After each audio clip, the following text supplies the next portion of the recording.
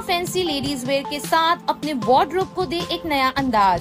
Sapa ladies wear में आपको मिलेंगे exclusive casual wear occasional dresses bridal attire party wear वो भी प्रीमियम क्वालिटी में, बहुत ही रीजनेबल रेट्स में। सबा फैंसी वेयर में लेटेस्ट पाकिस्तानी ड्रेसेस भी अवेलेबल है। अफोर्डेबल से लेकर एक्सक्विजिट एलिगेंस तक। सबा लेडीज़ वेयर में ड्रेसेस की रेंज शुरू होती है सिर्फ़ रुपीज़ टू फिफ्टी ऐसी और अगर आपको परफेक्ट फिटिंग की ज़रूरत है तो यहाँ आपको स्टिचिंग फैसिलिटी भी मिलेगी। यहाँ होलसेल रिटेल और रीसेल सभी फैसिलिटीज़ अवेलेबल है।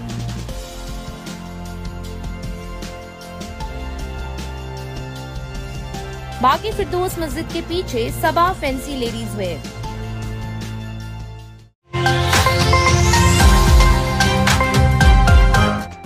Bhiwandi से सटे मुंबई नासिक हाईवे पर पिछले कुछ दिनों से रोड का काम किया जा रहा था और आज यहाँ बनाया गया रोड का नया हिस्सा ज़मीन में धंस गया। खुशकिस्मती से इस हादसे में कोई जानी नुकसान और कोई शख्स घायल नहीं हुआ, लेकिन इस तरह के काम और लापरवाही की वजह से यहाँ एक बड़ा हादसा भी हो सकता था।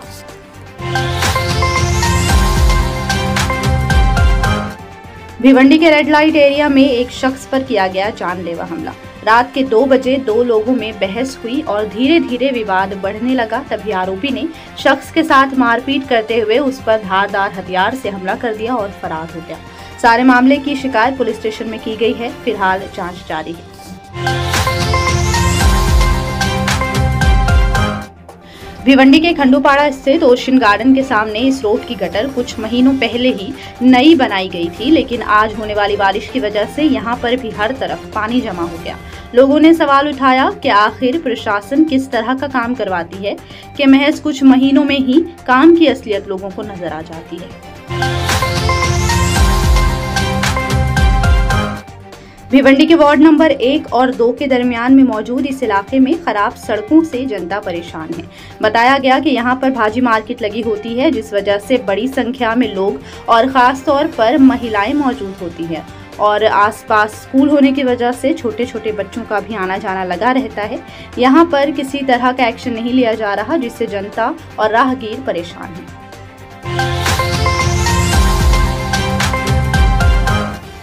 मुंबई में जोगेश्वरी इलाके में मौजूद एक नागोरी नामक शॉप में खतरनाक आग लग गई, जिसका वीडियो सोशल मीडिया पर काफ़ी वायरल किया गया।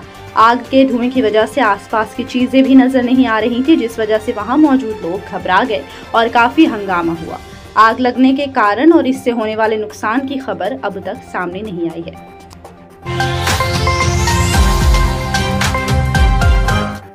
अक्टूबर में होने वाले असेंबली इलेक्शंस में एमवीए की तरफ़ से चीफ मिनिस्टर के चेहरे के तौर पर उद्धव ठाकरे को पेश किया जा सकता है। इस मामले में बयान देते हुए संजय राउत ने कहा कि बिना चेहरे के इलेक्शन लड़ना खतरनाक साबित हो सकता है। साथ ही महाराष्ट्र की जनता ने पहले भी उद्धव ठाकरे का काम देखा हुआ है और लोकसभा चुनाव में भी जनता ने हमें बहुत सपोर्ट किया। लेकिन फ़िलहाल इसे ऑफिशियल ना बताते हुए आगे अपडेट्स देने का आश्वासन दिया गया है। मुंबई लोकल ट्रेन में रोज़ाना मरने वालों के आंकड़ों ने सभी को चौंका दिया है। हाल ही में मिले डेटा के मुताबिक लोकल ट्रेन में हादसों की वजह से मौत का रेशो 38.80 यानी रोज़ाना सात लोग लोकल ट्रेन हादसों में मारे जाते हैं। ये दुनिया भर में सबसे बड़ा मौत का आंकड़ा है, ये कहते हुए रेलवे मैनेजमेंट के जनरल मैनेजर पर सवाल उठाए गए। मीरा रोड स्थित एक युवती ने एआई की मदद से अपनी ही दोस्त को लूट लिया। बताया गया कि आरोपी युवती ने एआई की मदद से आवाज़ बदलकर कंपनी का एचआर बनकर अपने दोस्त से बात की और लगातार कॉल कर उसे बिज़नेस में इन्वेस्ट करने के लिए मना लिया, जिसके बाद उससे छह लाख साठ हज़ार रुपए लूट लिए।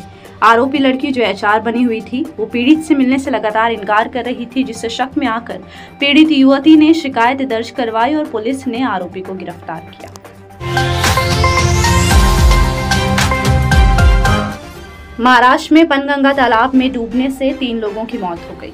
खबरों के मुताबिक इस तालाब में कपड़े धोने आई लड़कियाँ। तालाब में तैराकी के लिए गईं, लेकिन पानी का अंदाज़ा न होने की वजह से वो दोनों डूबने लगी, जिन्हें बचाने के लिए दो तैराकों ने भी छलांग लगाई, जिनमें से एक तैराक की भी डूबकर मौत हो गई। इस हादसे की वजह से इलाके के लोगों में गम और आक्रोश का माहौल है।